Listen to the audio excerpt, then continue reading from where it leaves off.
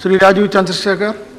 So as we all know, the financial markets and the financial sectors of our country are today valued at tens of thousands of crores and have grown systematically and solidly over the last two decades since liberalization. But more than its size, the markets have grown in terms of its transparency, governance, and regulation, making our markets one of the best regulated markets in this part of the world. Sir, as we enter into this debate, we must not forget what made this possible. It was the independent regulation of these financial markets, the independence and capability demonstrated by RBI and SEBI over these years, and the independence and capability of the men like Dr. Reddy and Mr. Damodaran in the RBI and SEBI.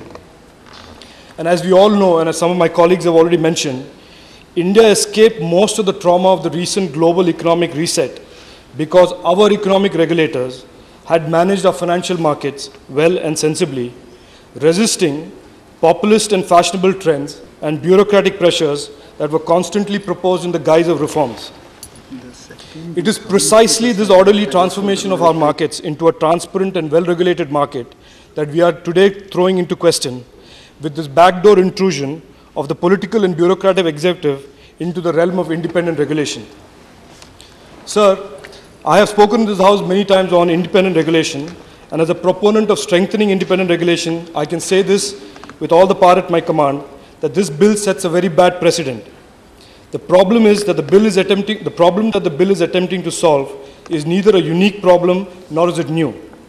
As a, as a matter of fact, as more and more independent regulators are introduced into our scheme of governance, the problems and therefore the challenges of regulatory overlap and regulatory disputes will arise. We must realize that. So if a sectoral regulator like IRDA or TRAI, the telecom regulator, attempts to regulate a sectoral entity and a functional regulator like the markets regulator SEBI or a competition regulator CCI attempts to regulate the function qua the markets or the competition, there will be potentially regulatory conflict. However, the solution cannot be and must not be the type suggested by this bill. Regulatory disputes and regulatory adjudication cannot compromise the com- concept of independent regulation of the sector or the function, as this bill very obviously ends up doing. Sir, let's acknowledge this openly. This bill brings in bureaucratic and political oversight into the critical and sensitive area of regulatory dispute adjudication, which is undesirable and retrograde. So let me give you an example of what will happen in the future if this precedent is followed. The TRAI is the telecom regulator.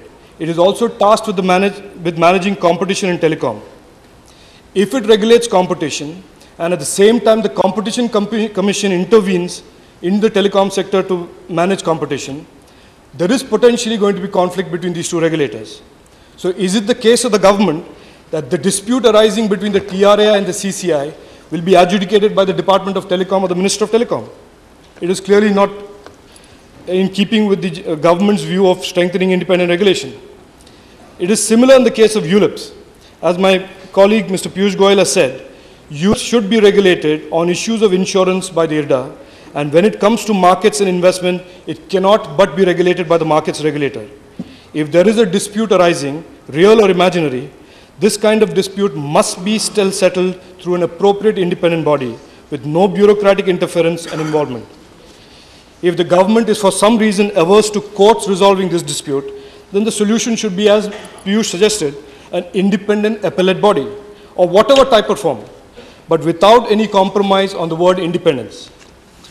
Bringing bureaucracy into the sensitive area of financial sector regulation is contrary to the government's own stated objective of strengthening independent regulation in this country.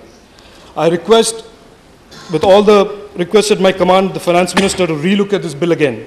The creeping influence of the government is bad news for the future of independent regulation in this country.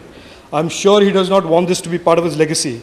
And I hope sincerely that he looks at creating an independent regulatory disputes appellate commission or some such idea that could replace the current structure proposal. Thank you. Thank you, Sri Chandrasekhar, for sticking on to the time.